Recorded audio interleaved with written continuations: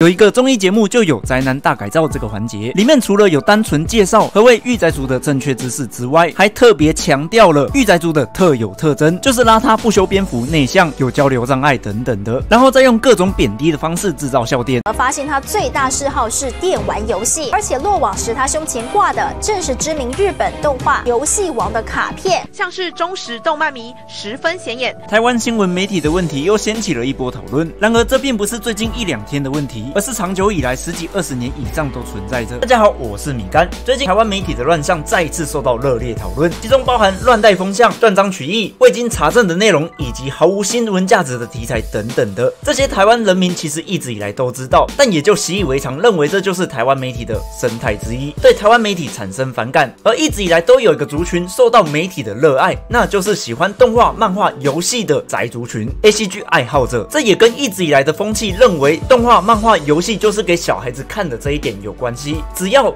这些作品不是给小孩子看的就有问题，或者是当他们认为你应该长大了还在喜欢这些东西，那你也有问题。所以常常会看到一些犯罪者被套上喜欢沉迷动画、漫画、游戏，或者是一些变态被称为宅男等等的。而这样的社会风气跟媒体的煽动有没有关呢？这支影片就是来简单谈谈台湾媒体一直以来如何关爱宅族群的。而首先我们就要先回到两千零五年到两千零七年。间，在两千零五年左右，因为电影《电车男》的关系，让宅男这个词引进台湾。但在当时，台湾对于御宅族这个名称和文化都非常陌生，并且都还是保持着动画、漫画、游戏就是小孩子的消遣，面向的族群应该都是小孩子。而且电玩网络也都被许多家长和老一辈的人认为非常危险又有成瘾性，对这些自己不了解的东西都非常惧怕。因此，媒体就抓住了这个点，在两千零五年到两千零八年之间，有一个综艺节目就有宅男大改造这个环节，里面除了有单单纯介介绍何谓御宅族的正确知识之外，还特别强调了御宅族的特有特征，就是邋遢、不修边幅、内向、有交流障碍等等的，然后再用各种贬低的方式制造笑点，不管是用先入为主的偏见来去介绍对方和与对方互动，提出有女朋友还要感到不可思议，甚至对《凉宫春日》这本小说做出捏造内容的方式来制造笑点，导致有许多家长认为轻小说就是 A 书，而且当时有很多迹象指出，节目组有刻意带风向，显得那些人就如同他们所叙述。那一般也把《凉宫春日》等轻小说被认为那些就是色情内容的风向之中，甚至还让来宾说出了非常歧视的词汇。这也是我以前有用影片谈过的《凉宫春日》事件。当时最后以许多人去现场抗议之下，电视台在自己的官网中道歉，被邀请的来宾也道了歉，但主持人拒绝道歉并推脱其词之后，事情也算告个段落。也因为这件事，许多面向青少年的动画作品以及轻小说都会被认为是色情作品，但媒体的行为并没有停止。在那个时期，每当有动漫展、同人人展的时候，媒体总会到现场并询问去现场购物的民众和 coser，对民众就会用诱导式的询问，拍了多长的时间，花了多少钱，再用居然在这些东西上花了这么多钱的方式来应对，以及在采访 coser 时，都会挑选穿着比较暴露的人，导致当时报道出来之后，普遍对于宅圈的观感并不怎么好。还有在报道像是初音第一场演唱会时，也是用现实虚拟傻傻分不清楚来当标语，不能够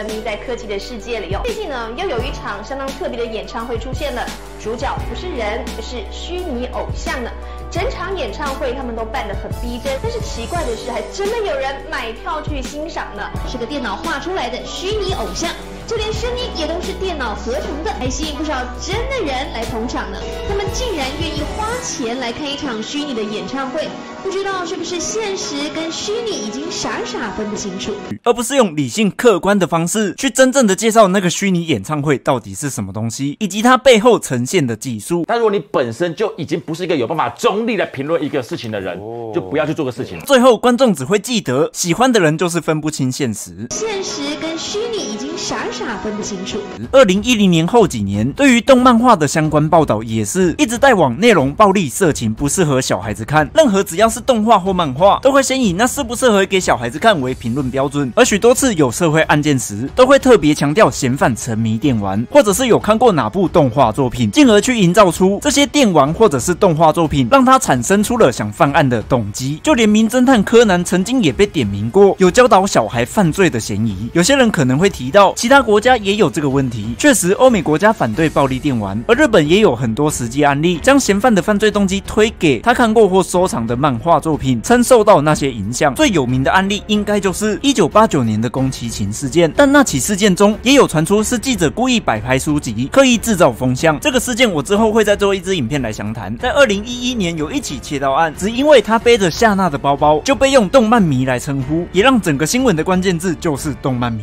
或者是动漫迷贼。除了媒体上报道以外，名嘴讨论也都非常热烈。但因为类似称嫌犯有看动画、漫画、沉迷游戏的事情非常多，很难让人对某几件事件有特别印象。除了接下来要提到的两个事件以外，分别是二零一二年的台南割喉案和二零一四年的郑捷事件。前者在犯案时有租借 DVD 和小说成为破案关键，而其中的作品疑似是《灵之使魔》。这边先说明一下，《灵之使魔》这部作品算是当时兴起的后宫系轻小说作品之一。虽然一定会有一些福利情但是故事设定和内容相当精彩，并非无脑的后宫番。虽然这些对于毫无接触的人来说无所谓就是了，在他们看来，里面就是有变态色色的内容。于是这点就成为了名嘴上政论节目的题材之一，在节目中大谈阔论这部作品多糟糕。更好玩是什么？它里面哦，它有看一个动画，所以我还特别跑去看他看的那个是什么动画。它的动画是一个日本漫画，叫做《灵之使魔》。它其实那个《灵之使魔》有点像那个《哈利波特》的故事，哎，可是很奇怪。嗯，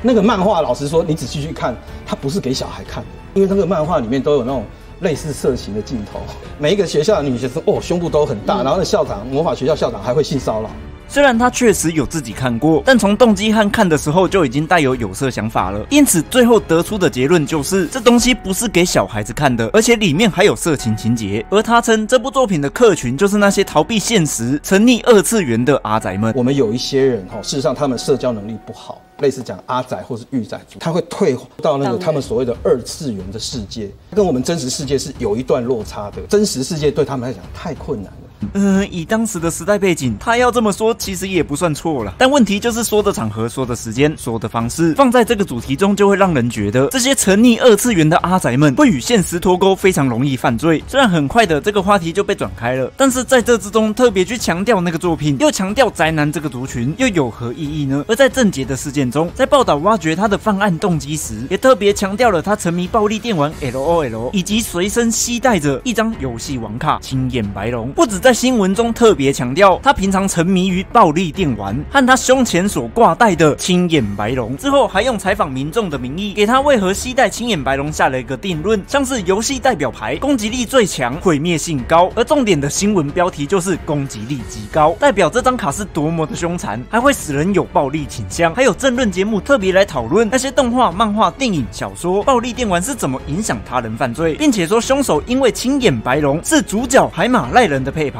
攻击力最高，这样拥有极高战斗力、破坏力的卡，当做他的护身符佩戴。这张卡呢是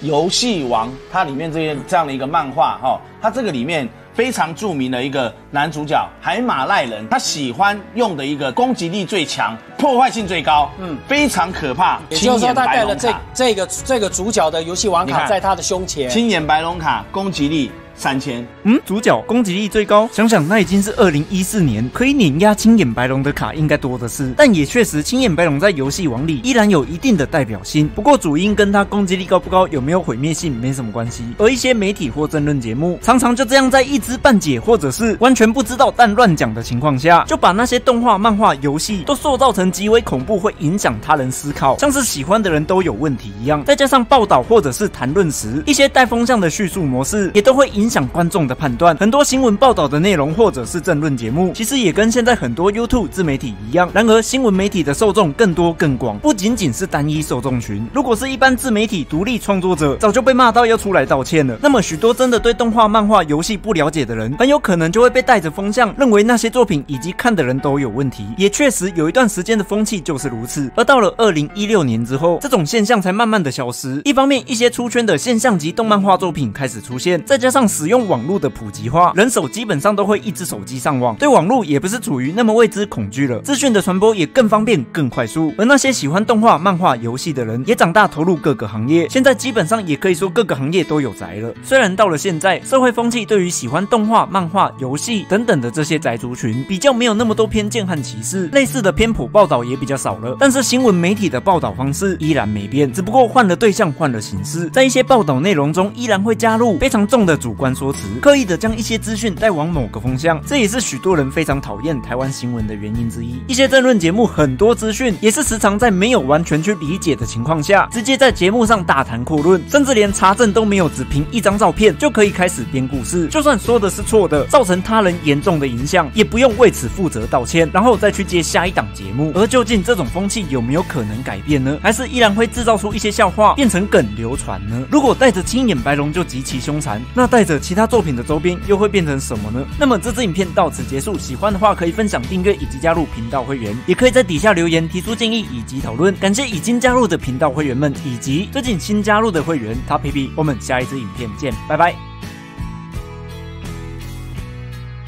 很难想象一个根本不存在的虚拟人物，竟然也可以开演唱会，还吸引不少真的人来捧场呢。